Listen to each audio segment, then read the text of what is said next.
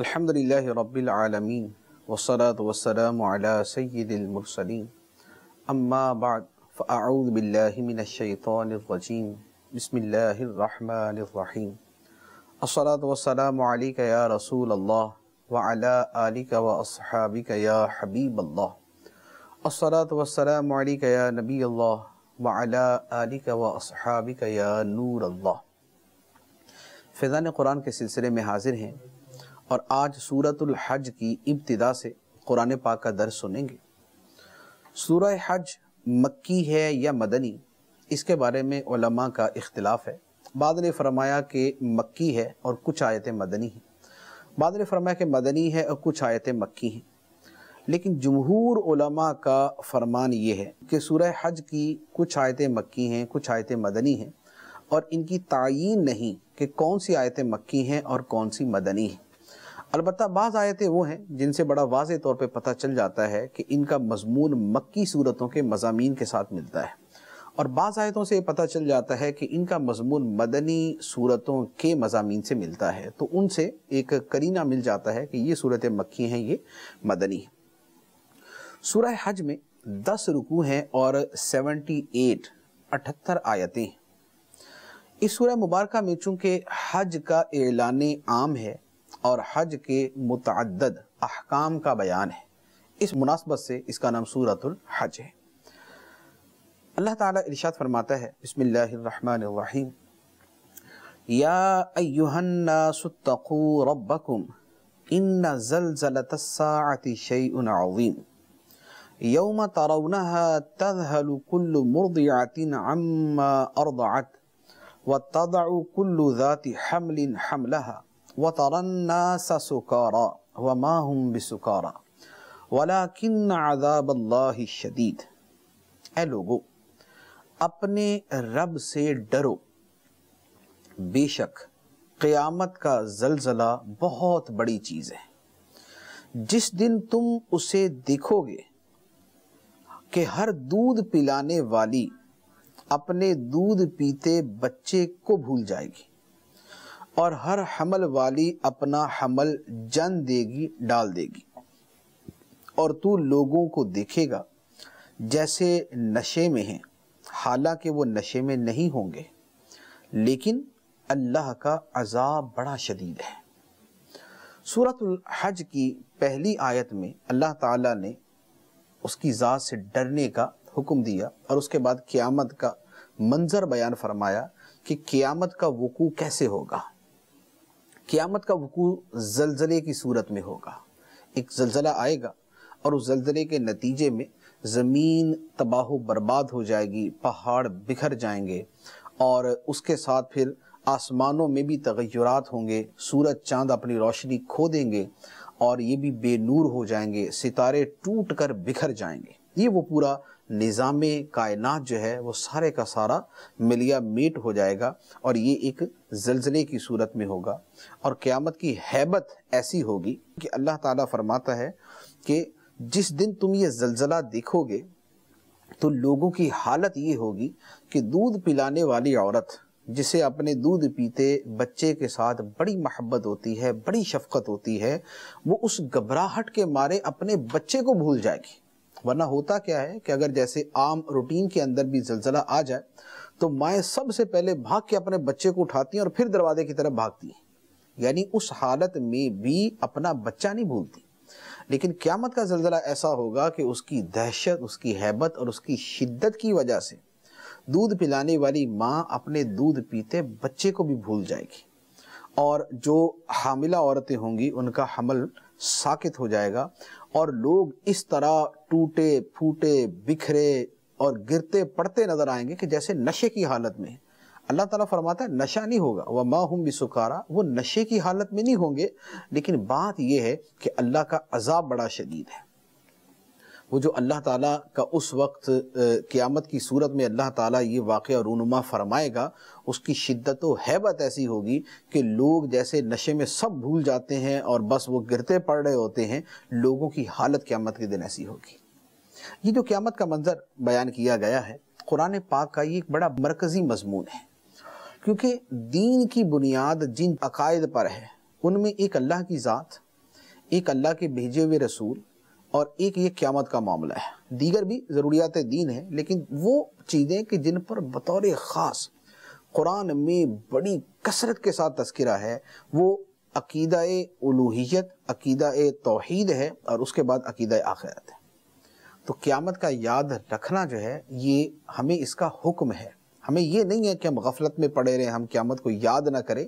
बहसीत मुसलमान ये हमारे अमाल में दाखिल होना चाहिए कि हम क़्यामत को याद करें, क्योंकि क़्यामत की याद दुनिया की महब्बत को कम करती है, माल की महब्बत को कम करती है, आखिरत की तैयारी की फ़िक्र दिलाती है।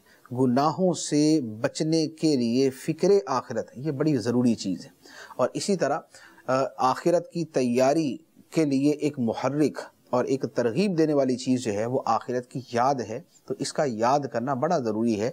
कुरान का हुक्म भी है, अल्लाह के महबूब सल्लल्लाहु अलैहि वसल्लम की सुन्नत भी है और सलफ़ सालहीन का तरीका भी है। अल्लाह ताला हमें दुनिया से ज़्यादा आखिरत की फ़िक्र अता फ़रमाए ताकि हम उसकी तैयारी कर सकें। इसके बाद बयान ये है कि कुछ लोग ऐसे थे जो अल्लाह ताला के बारे में बगैर इल्म के झगड़ा करते थे। जैसे जाहिलों का तरीका है कि किसी बात का इल्म नहीं है, लेकिन हर बात में टांग अड़ानी है और हर मौजू के अंदर अपनी राय ज़रूर देनी है तो इस तरह के लोग हमेशा से रहें। तो ज़माना जाहिलियत में और फिर जब ज़माना इस्लाम आ गया तो नबी पाक सलाम की ज़ात मुबारक के मौजूद होते हुए भी इस तरह के लोगों की कमी नहीं थी कि जो क़यामत का इनकार करते थे, जो अल्लाह ताला की वहदानियत पर कलाम करते थे तो अल्लाह ताला उनके बारे में फरमाता है, उनका अंजाम भी बयान फरमाया और जो उनका अमल था, वो भी बयान फरमाया। फरमाया व मिनन्नासी कुल्ल शैतानिन मरीद। कुतिबा अलैहि अन्नहु मन तवल्लाहु फअन्नहु युदिल्लुहु व यहदीहि इला अज़ाबिस सईर। और कुछ लोग वो हैं जो अल्लाह के बारे में बगैर इल्म के झगड़ते हैं और हर सरकश शैतान के पीछे चल पड़ते हैं। जिस पर यह लिख दिया गया है कि जो उससे दोस्ती करेगा तो वो ज़रूर उसे गुमराह कर देगा और उसे जहन्नम के अजाब की राह बताएगा। ज़माना रिसालत में भी कुछ ऐसे लोग थे। और आज के ज़माने में भी ऐसे लोग मौजूद हैं कि जो बगैर इल्म के झगड़ा करते हैं।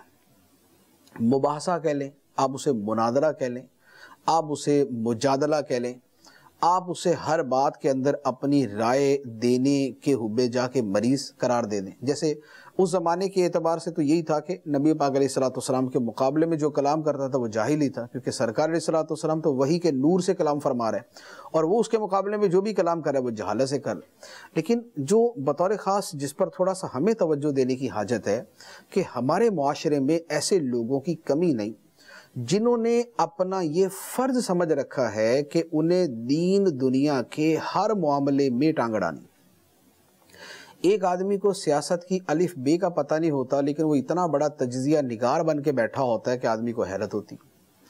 इतनी बड़ी तादाद उन लोगों की है कि जो किसी भी दुनियावी टॉपिक पर भी गुफ्तगु करते हैं, लेकिन उनको आता जाता कुछ नहीं। लेकिन चूँकि वो मीडिया पे बैठे हुए या वो अखबार के अंदर लिखने वाले हैं, अब जनाब वो दानिश्वर भी हैं। वो जनाब, वो पता नहीं क्या वो महाशे बने हुए हैं और वो क्या अपने आप को समझते हैं और हर बात में राय देना अपना फरीद मनसबी समझते हैं। और फिर ऐसे ही जो दो नंबर जाली दानश्वर हैं, उनका तरीका ये भी होता है कि दीन के हर मामले में वो अपनी राय देंगे। हर बात के अंदर I think so I think so बस उनका ये एक तकिया कलाम होगा कि मैं ये समझता हूँ। अल्लाह ताला फरमाता है कि ये जाहिल लोग हैं। जिन्होंने, जिस शय का इल्म नहीं हासिल किया अगर वो इल्म हासिल किए बगैर उसमें कलाम करेंगे तो वो बगैर इल्म के, यानी वो जहालत के साथ झगड़ा करने वाले करार पाएँगे। एक आदमी को अगर मेडिकल का पता नहीं, और वो मेडिकल के हर मामले के अंदर अपनी राय देने शुरू कर दे कि I think so I think so तो सारे मिलजुल के बोलेंगे कि इस जाहिल आदमी को हक ही नहीं है कि मेडिकल के अंदर कलाम करे। यही मामला दीन का है। लेकिन चूँकि लोगों ने दीन को बड़ा आसान समझ लिया कि दीन की अगर अलिफ बे नहीं भी पढ़ी ना, तब भी दीन के ऊपर अथॉरिटी और जिसने एम ए इस्लामियात वगैरह कर लिया हो, उसको तो उसको तो वो तो संभाले नहीं संभलता ना, उसको तो पकड़ पकड़ के भी रोके ना कि भाई साहब, एम ए इस्लामियात में दो चार सूरतें पढ़ाई जाती हैं और इसके अलावा थोड़ा बहुत नॉलेज है, इससे दीन पर राय देना जायज़ नहीं है, हराम है। वो कहेगा, नहीं जनाब, मैंने एम ए किया हो। तो ये आजकल के माशरे का ये हाल है कि दानिश्वर बस जो है ना, वो जिसका एक कॉलम छप जाए, वो दानिश्वर है। जो किसी भी उल्टी सीधी बात में कोई राय दे दे, वो दानिश्वर कहलाना शुरू कर देता है। तो ये अल्लाह की बारगाह में ये दानिश्वर नहीं चलेंगे। अल्लाह की बारगाह में उन लोगों की बात चलेगी जो अहले इल्म हैं, जिन्होंने कुरान पढ़ा है और सही लोगों से सही तरीके से पढ़ा है। जिन्होंने दीन पढ़ा है, सही लोगों से सही तरीके से पढ़ा है। तो ये आज का एक बहुत ही नाजुक मौजू और बहुत ही नाजुक जो है वो मामला है कि जिसमें लोग परवाह नहीं करते और बस दीन के अंदर अपनी राय देते हैं। हदीस मुबारक के अंदर फरमाया गया कि जो बगैर इल्म के फतवा दे, फतवा देने से मुराद है दीन का मसला बताए। जो बगैर इल्म के दीन का मसला बताए, उस पर अल्लाह की भी लानत है, उस पर तमाम फरिश्तों की भी लानत है और उस पर तमाम लोगों की भी लानत है। तो अब ऐसे लानती लोगों की कमी नहीं। कि जो बगैर इल्म के शर्ई मसाइल में कलाम करते हैं और अपनी राय देते हैं। तो लिहाजा जो लोग इस तरह करने वाले हैं, वो भी इसके ऊपर गौर करें और हमारे माशरे के वो लोग, हमारी सोसाइटी के वो लोग जो इस तरह की चीज़ों में पीछे लग जाते हैं कि भाई फलां बंदा चूँकि वो टीवी पे आता है, वो अखबार में लिखता है, लिहाजा वो दानिश्वर हो गया। अब चूँकि दानिश्वर हो गया, लिहाजा अब उसके पीछे चले। तो ये दुनिया के अंदर तो ये इस तरह की चीज़ें चल जाएँगी। देखिए, अल्लाह की बारगाह में कभी नहीं चल सकती। अल्लाह ताला की तरफ़ से हुक्म है फस आलू ज़िक्र इन कौन तुम ला इल्म वालों से पूछो अगर तुम्हें इल्म नहीं। अगर इल्म नहीं है तो इल्म वालों से पूछो जिन्होंने जिन्होंने दीन का इल्म हासिल किया है। जिन्होंने पढ़ी दुनिया है, पढ़े जनाब दहरियों की किताबें हैं, पढ़े उन्होंने कम्युनिस्ट और सेकुलर लोगों को पढ़ा हुआ है और राय देते हैं दीन इस्लाम के बारे में, इन लोगों से ना पूछो और ना इनके पीछे चलो। इनके जो पीछे चलेगा, अल्लाह ताला फरमाता वयत शैतान मरीद। ऐसे लोग वो हैं जो हर सरकश शैतान के पीछे चल पड़ते हैं। तो ये ये कुरान की ज़बान है जो उनके बारे में बता रही है कि हर सरकश शैतान के पीछे चल पड़ते हैं और ये कौन है सरकश शैतान जिसके पीछे चल पड़ते हैं? फरमाया, कुतिबा अलई जिस पर ये लिख दिया गया कि जो इससे दोस्ती करेगा, जो इससे दोस्ती करेगा तो वो ज़रूर उसे गुमराह कर देगा। यानी ऐसे जो लोगों के बड़े हैं, जो लीडर हैं और जो लोगों को राय, जो लोगों के लिए राय आमा हमवार करते हैं और लोगों को दीन के मामले में जहालत के साथ राय देते हैं और दीन पड़े बगैर राय देते हैं तो फरमाया कि ये ज़रूर उन्हें गुमराह करेंगे और जहन्नम का रास्ता बताएँगे। तो लिहाजा जो ऐसा करने वाले हैं वो भी सोचें और जो इनके पीछे चलने वाले हैं वो भी सोचें कि दीन के अंदर इनकी राय नहीं मानी जाएगी, दीन के अंदर दीनदारों की और दीन का इल्म रखने वालों की राय मानी जाएगी। इसके बाद अल्लाह तबारक व ताली ने चूँकि क़्यामत का बयान चल रहा है तो अल्लाह ताला ने क़ियामत के वकू पर दो दलीलें बयान फरमाए क़्यामत का जो मेन मामला है वो क्या है कि क़्यामत के दिन सारे जो मुर्दा इंसान है वो ज़िंदा हो जाएँगे।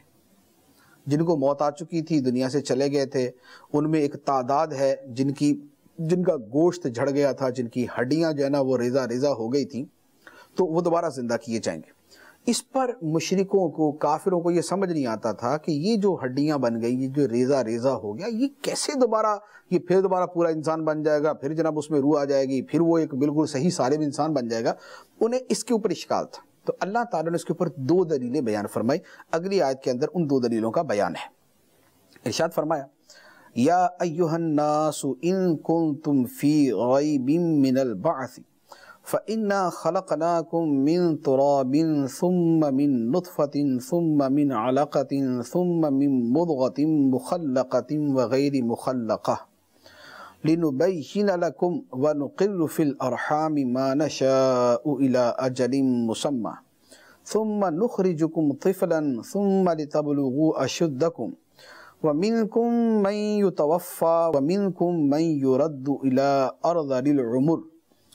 अर्ज़लिल उमुर लिकैला यअलम मिन बाद इल्मिन शैया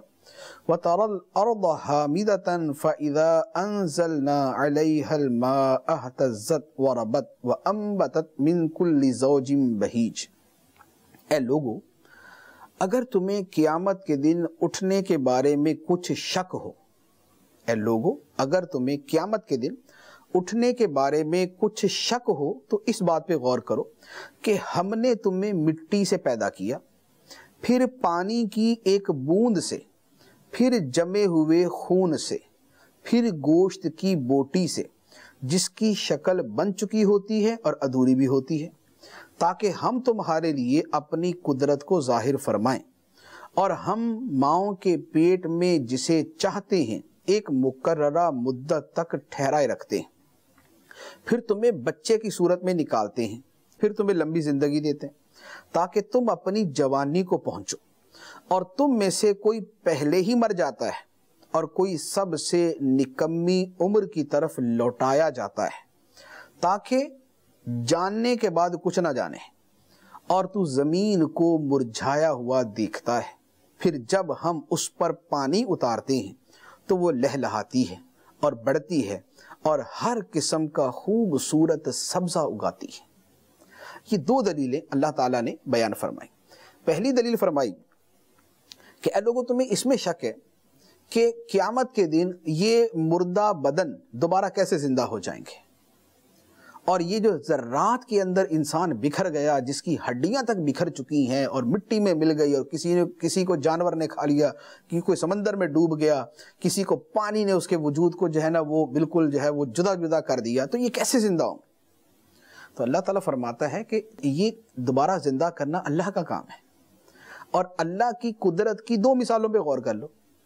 पहली मिसाल तो ये समझ लो कि खुद अपने आप को देखो कि तुम क्या थे और अल्लाह ने तुम्हें बना दिया।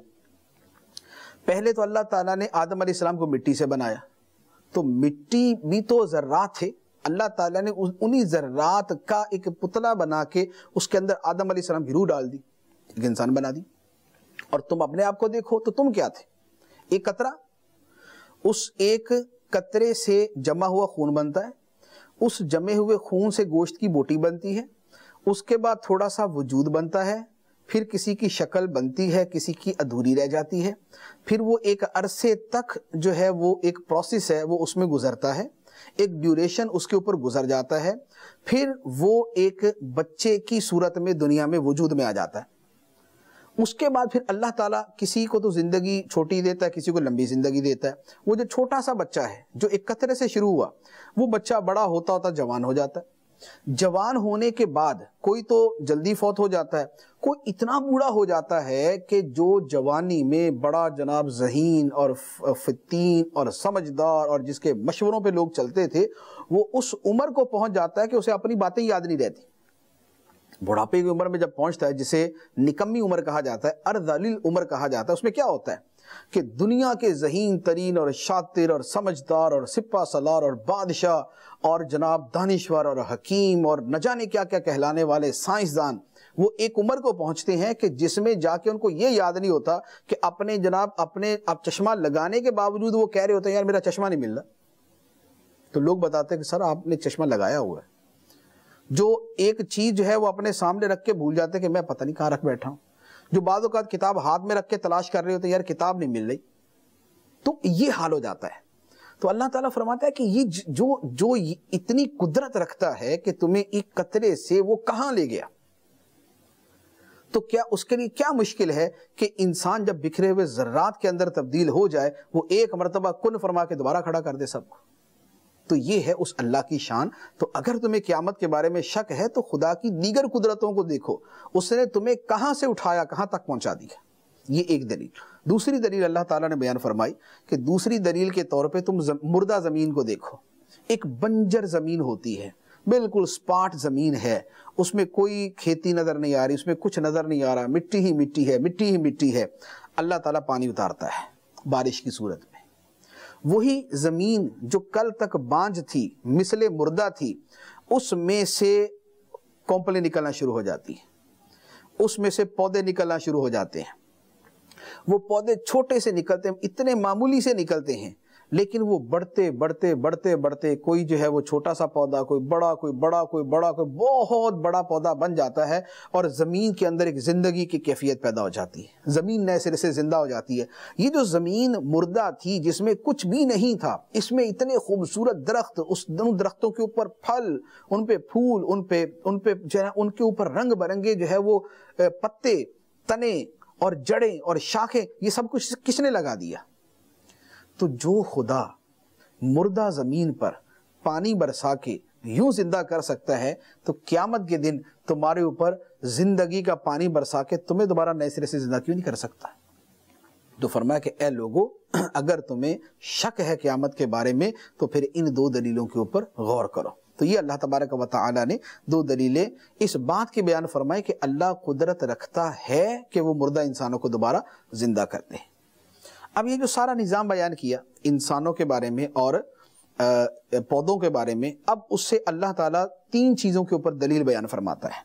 इरशाद फरमाए, ज़ालिका बि अन्नल्लाह हुवल हक़ व अन्नहु युहयिल मौता व अन्नहु अला कुल्लि शैइन कदीर व अन्न साअत आतियतुल ला रैब फीहा व अन्नल्लाह यबअसु मन फिल कुबूर।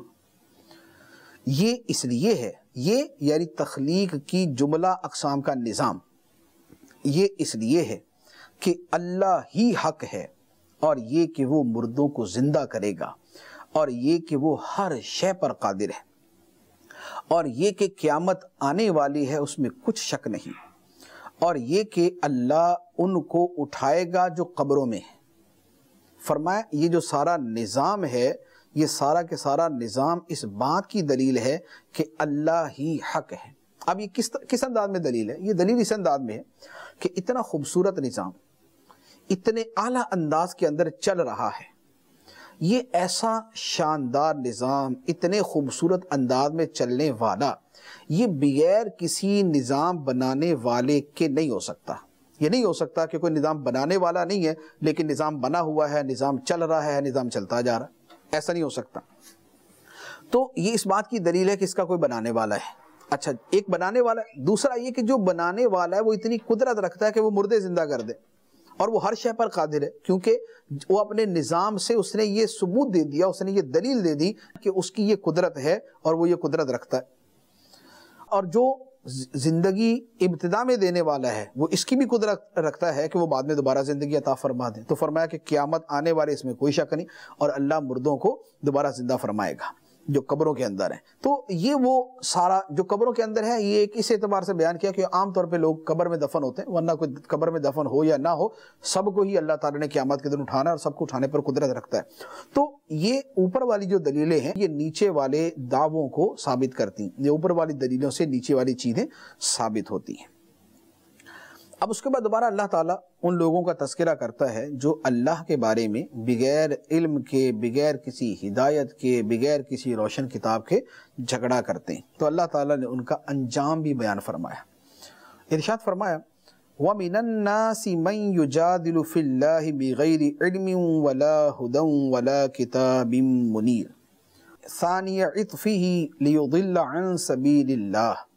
मन युजादिलु फिल्लाहि बिगैरि इल्मिन वला हुदन वला किताबिन मुनीर सानिय इत्फिही लियुदिल्ल अन सबीलिल्लाह लहू फ़ी दुनिया खिज़्यूं व नुज़ीक़ुहु यौमल क़ियामत अज़ाबल हरीक़। ज़ालिका बिमा क़द्दमत यदाका व अन्नल्लाह लैसा बिग़ल्लामिन लिल और कोई आदमी वो है जो अल्लाह के बारे में बगैर इल्म और बगैर हिदायत और बगैर किसी रोशन किताब के झगड़ता है। इस हाल में कि वो हक से अपनी गर्दन मोड़े हुए है। ताकि अल्लाह की राह से भटका दे। उसके लिए दुनिया में रसवाई है और क़्यामत के दिन हम उसे आग का अजाब चखाएँगे।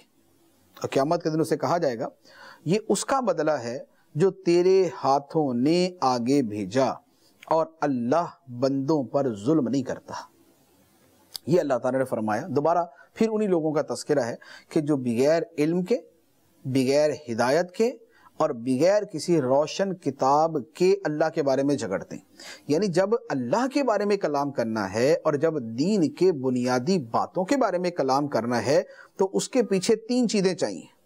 इल्म चाहिए, हिदायत चाहिए और कोई रोशन किताब चाहिए। रोशन किताब जो अल्लाह की तरफ़ से होती है कि उसके दलाइल की रोशनी में अल्लाह के लिए किसी शय को साबित किया जाएगा, किसी शय की नफ़ी की जाएगी।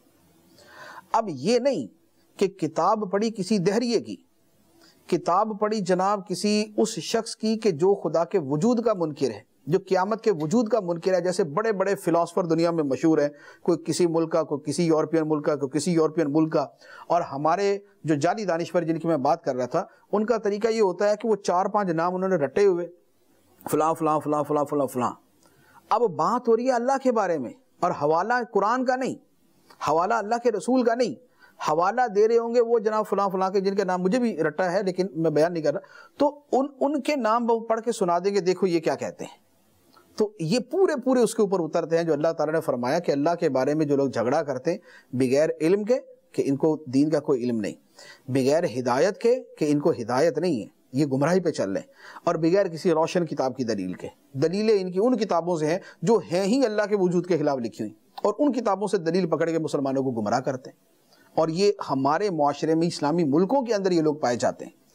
तो इन लोगों के बारे में फरमाया कि हक से अपनी गर्दन मोड़े हुए लोगों को भटकाना चाहते हैं। इनके लिए क्या है? दुनिया में भी रसवाई है और क्यामत के दिन इनको आग का अजाब चखाया जाएगा।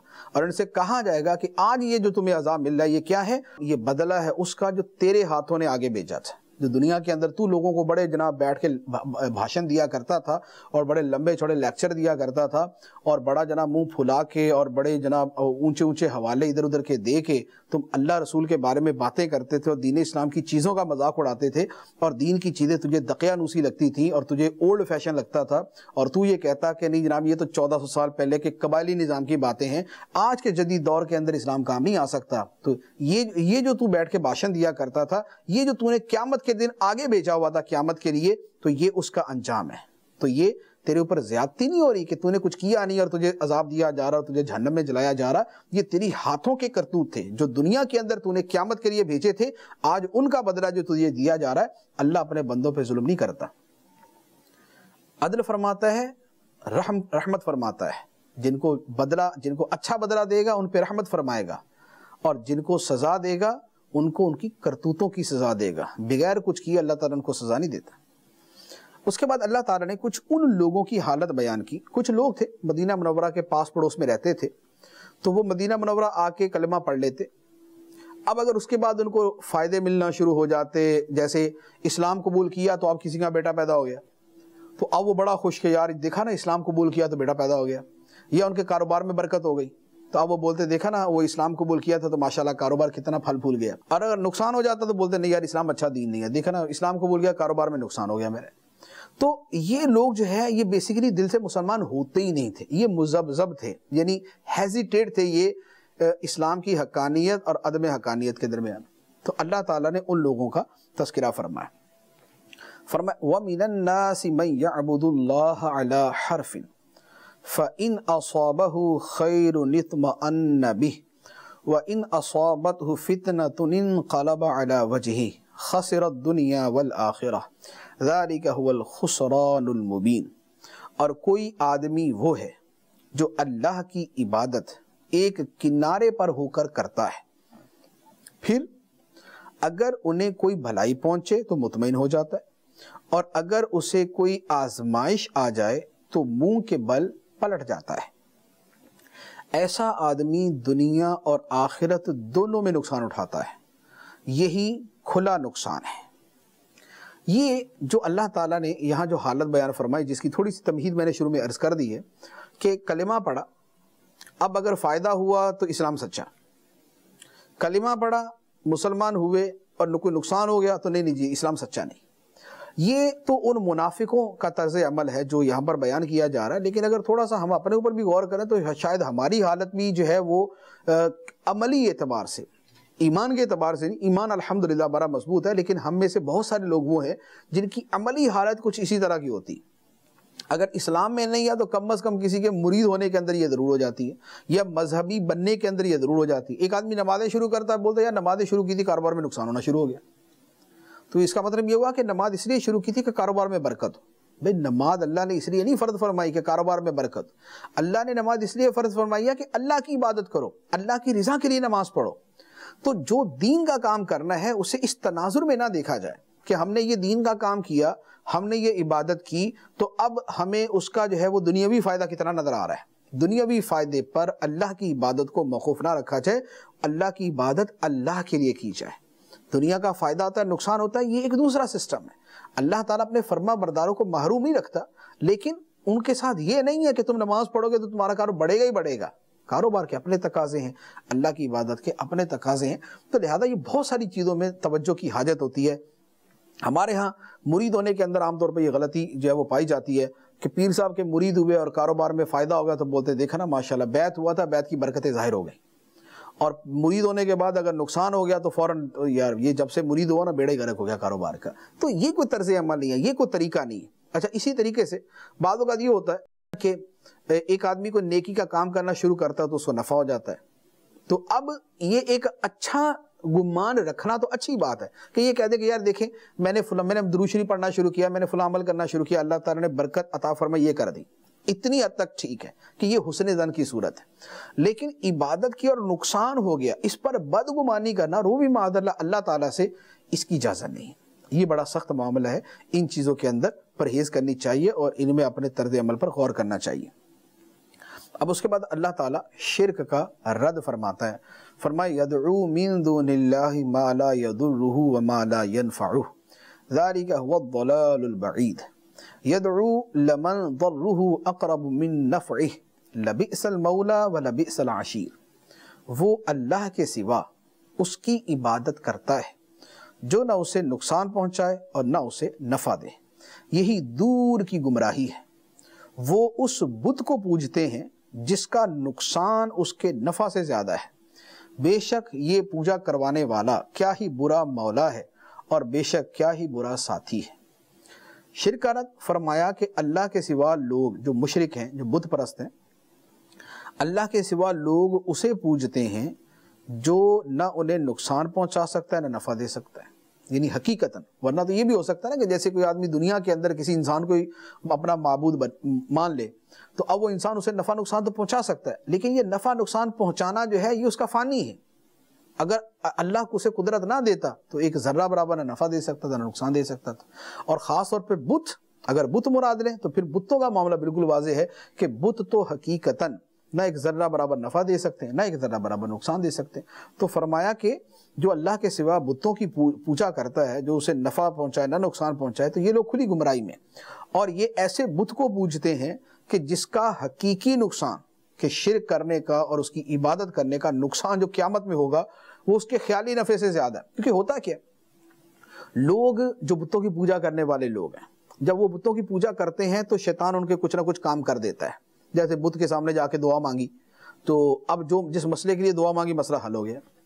तो अब और पक्के हो जाते देखा ना, फलां जनाब बुद्ध के सामने जाके मैंने ये काम किया, मैंने दुआ मांगी और मेरा मसला हल हो गया। या फलां बुत की मैंने नज़र मानी और मेरा ये मसला हल हो गया। अब होता क्या है कि ये मसला हल तो अल्लाह की तरफ़ से होता है, लेकिन इनके ख्याल और तस्वुर में ये है कि हमें ये जो दुनियावी नफ़ा पहुँचा, ये इस बुत की वजह से पहुँचे। तो अल्लाह ताला फरमाता है कि जो शिरक का हकीकी नुकसान है, जो क्यामत में हमेशा हमेशा के लिए जन्नत में चले जाना है, वो इनके इस तस्वुराती तखयलाती नफ़े से ज़्यादा है। जो क्यामत में, जहन्नम में खुरूद फिन्नार का अजाब है, नुकसान है, वो नुकसान इस दुनिया के अपने ही तखयलाती नफ़े से ज़्यादा है। तो लिहाजा किसी भी सूरज है ये बुतों का पूछना और शिर करना जो है ये फ़ायदेमंद नहीं है। और ये जो लोगों को इस राह पे लगाते हैं, शिरक पे लगा दिया बुतों की पूजा पे लगा दिया तो फरमाया कि ये बड़े ही बुरे दोस्त हैं और बहुत ही बुरे साथी हैं। अब अल्लाह ताला अहले ईमान का सिला बयान फरमाता है, जो ईमान वाले हैं, अच्छे अमाल करने वाले हैं, नेकियाँ करने वाले हैं, अल्लाह ताला उनका सिला बयान फरमाता है। फरमा इन आमनु व आमिलुस्सालिहात जन्नातिन तजरी बेशक अल्लाह ईमान वालों और नेक अमाल करने वालों को उन बागों में दाखिल फरमाएगा जिनके नीचे नहरें जारी हैं बेशक अल्लाह जो चाहता है करता है जो ईमान वाले जो अच्छे अमल करने वाले अल्लाह उन्हें बागों में दाखिल फरमाएगा उन बागों के अंदर नहरें जारी हैं और अल्लाह ताला जो चाहता है वो करता है। अब उसके बाद अल्लाह ताला ने काफिरों के बारे में, क्योंकि काफि, काफिरों का मामला क्या था? नबी पाक सल्लल्लाहु अलैहि वसल्लम से हसद करते थे, जलते थे। इस्लाम तरक्की कर रहा था, लोग मुसलमान हो रहे थे तो उनको और कुड़न होती थी, और जलन होती थी। तो अल्लाह ताला ने फरमाया कि ये जितना मर्दी जलें, बुने, कुड़ें, हसद करें, जो मर्दी करें, ये हसद के अंदर खुदकुशी भी कर ले, अल्लाह ताला अपने नबी की मदद को ख़त्म नहीं करेगा। अल्लाह ताला अपने नबी की नुसरत व तायद फरमाता रहेगा, ये जो मर्ज़ी करते रहे। चुनाचे इरशाद फरमाया, मन काना दुनिया वल आखिरह फलयमदुद बिसबबिन इलस समाई यक़ता फल यंजुर हल युज़हिबन्न कैदुहु मा यगीज़। कज़ालिक अंज़लनाहु आयातिन बय्यिनातिन व अन्नल्लाह यहदी मन युरीद। जो ये ख्याल करता है कि अल्लाह दुनिया और आखिरत में अपने नबी की मदद नहीं फरमाएगा तो उसे चाहिए कि ऊपर, यानी छत की तरफ़ एक रस्सी दराज कर ले, फिर अपने आप को फांसी दे दे। फिर देखे कि क्या उसके दाव ने इस इमदाद को मिटा दिया जिस पर उसे गुस्सा आता है। और इसी तरह हमने इस कुरान को रोशन आयतों की सूरत में नादिल फरमाया और ये कि अल्लाह जिसे चाहता है हिदायत देता है। तो फरमाया कि ये लोग जो नबी की मदद को नापसंद करते हैं, अगर इस मदद को रोकने के लिए अब वो अपने जलन और कुड़न की वजह से खुदकुशी भी कर लेंगे, मर भी जाएँगे, तब भी अल्लाह ताला अपने नबी की मदद ना दुनिया में छोड़ेगा, ना आखिरत में छोड़ेगा। इसके बाद अल्लाह ताला ने फरमाया कि हकीकी फ़ैसला क़ियामत के दिन होगा। मुशरक और यहूदी और ईसाई और मजूसी और सितारों की पूजा करने वाले ये मुसलमानों के ख़िलाफ़ हैं। और ये अपने आप को हक पे कहते हैं, यहूदी कहते हैं, हम सच्चे हैं, ईसाई कहते हैं, हम सच्चे हैं, मजूसी कहते हैं, हम सच्चे हैं। तो अल्लाह ताला फरमाता है कि मुसलमानों का सच्चा होना तो अल्लाह ताला ने कुरान के ज़रिए ज़ाहिर कर दिए। लेकिन इस फैसले का जो अमली नतीजा सामने आएगा, जो हकीकी फैसला इसका पता चलेगा, वो क्यामत के दिन पता चलेगा। क्यामत के दिन जो हक्कानियत है वो आँखों से नज़र आ जाएगी। हक्कानियत तो दुनिया के अंदर भी इस्लाम की वाजे है, लेकिन आखिरत के अंदर जब फैसला हो जाएगा कि ये सच्चे इधर हो जाएँ, ये झूठे इधर हो जाएँ, और ये जहन्नम में जाएँ, और ये जन्नत में जाएँ तो उस वक्त जो सारा फैसला है वो वाजे हो जाएगा। तो अल्लाह ताला इरशाद फरमाता है इन लदीन आमनु वल्लदीन हादू वस्साबीन वन नसारा वल मजूसा वल्लदीन अशरकू इन यफसलु बैनहुम यौमल क़ियामह इन अला कुल्लि शैइन शहीद। बेशक मुसलमान और यहूदी और सितारों की पूजा करने वाले और ईसाई और आग की पूजा करने वाले और मुशरिक, बेशक अल्लाह इन सब में क़ियामत के दिन फैसला कर देगा। बेशक अल्लाह हर चीज़ पर गवाह है। ये अल्लाह ताला बयान फरमा दिया कि दुनिया में कि सारे के सारे एक दूसरे की बात मान के उसी दीन पे आ जाए, ये तो नहीं हो रहा, लेकिन क्यामत के दिन अल्लाह ताला इनके दिन में फैसला कर देगा। लेकिन यहाँ ये बात याद रखनी है कि क्यामत के दिन फैसले के बाद ये इख्तियार नहीं होगा कि आप मशरक ईमान कबूल कर ले और यहूदी भी मुसलमान हो जाए और ईसाई भी मुसलमान हो जाए। क्यामत के दिन फैसले से मुराद है कि उनका अंजाम उन्हें देकर उनका फैसला कर दिया जाएगा। जो मानना है, जो समझना है, जो सुधरना है, जो सीधी राह पर आना है, वो इस दुनिया के अंदर है। लिहाजा जो भी दीन इस्लाम से बाहर है, दीन इस्लाम की हक्कानियत पर दुनिया के अंदर गौर करे और दुनिया के अंदर इस पर इसे हक तस्लीम करे, तब उसकी नजात। वरना क़यामत के दिन तो बहरहाल जब हक वाजे हो जाएगा और जन्नत जहन्नम का फैसला हो जाएगा, फिर तो लोग हक मान ही लेंगे। अल्लाह तबारक व ताली हमें ईमान पर इस्तकामत अता फ़रमाए और हमारा जीना और हमारा मरना दोनों ईमान के ऊपर फरमाए और हमारी बेहिसाब बख्शिश फरमाए। आमीन बिजाहिन नबी अमीन सल्लल्लाहु ताला अलैहि वसल्लम